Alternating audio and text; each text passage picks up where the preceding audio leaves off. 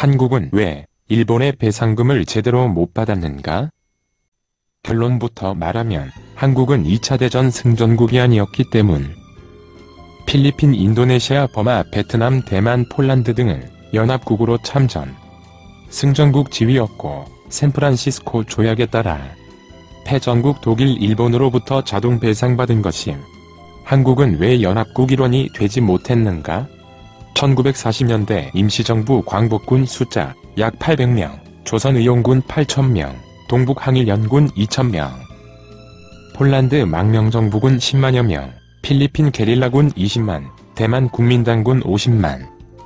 미국이 한국 임시정부와 필리핀 게릴라에 지원했지만 임시정부는 병력 숫자가 너무 적었기 때문에 연합국의 일원으로 편성한 시킴.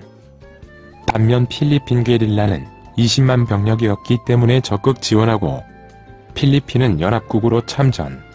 승전국 지위였고 배상받은 것임. 필리핀 게릴라들은 적극적으로 일본과 교전, 루손섬 전투 등에서 큰 활약. 만약 한국 임시정부가 대병력으로 연합국 참전하고 오키나와 전투라던가 중국 본토에서 미국과 연합해서 참전을 했음 역사는 완전 바뀌었을 것이다. 아마 교과서에도 데서트 필드였을 건데 1940년대 일본과 교전 기록 자체가 전무한 1940년대 독립운동이 미진했다고 봐야 하는데 물론 일본의 30년 넘게 장기간 통치로 완전히 힘을 잃었다고 볼 수도 있겠지만 일본의 문화 통치에 말려들었다고 봐야 한다.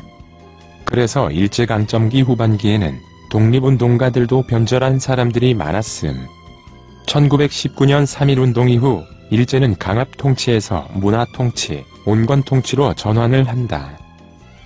1910년대나 1920년 초만 해도 전체 독립군 숫자는 최소 3만 최대 5만 이상은 되었다.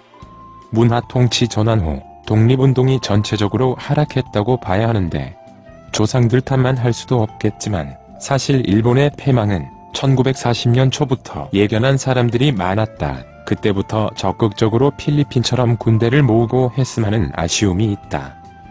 연합국 참전으로 승전국 지위만 얻었음. 일본은 한국의 자동 배상인데 그랬음 오늘날 같은 배상 문제는 없었을 거고 임시정부도 큰 권한을 가졌을 거고 미국 소련 주도가 아닌 임시정부 주도로 정부를 시작했을 것이다. 그랬음 분단도 막았을 것.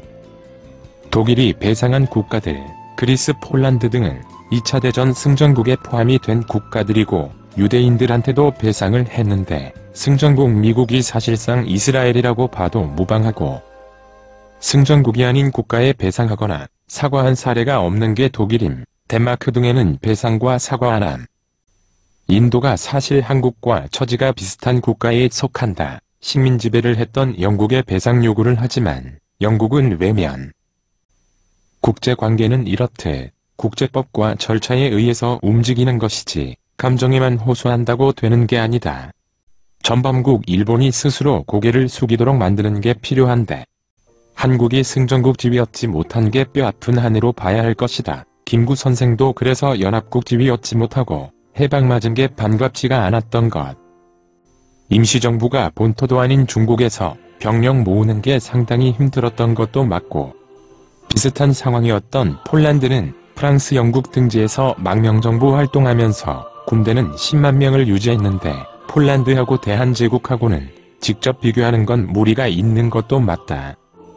폴란드는 1차 대전 승전국이고 이미 최정예 병력들을 보유한 상태에서 2차 대전이 터졌기 때문에 계속적인 저항이 가능했지만 대한제국은 3만 군대를 보유했었다고 하지만 일본의 장기간 통치와 문화 통치에 말려들어 많은 이들이 일본에 동화되거나 변절한 3.1 운동했던 독립운동가들도 변절할 정도니 당시 상황이 어땠는지 알 수 있는 거.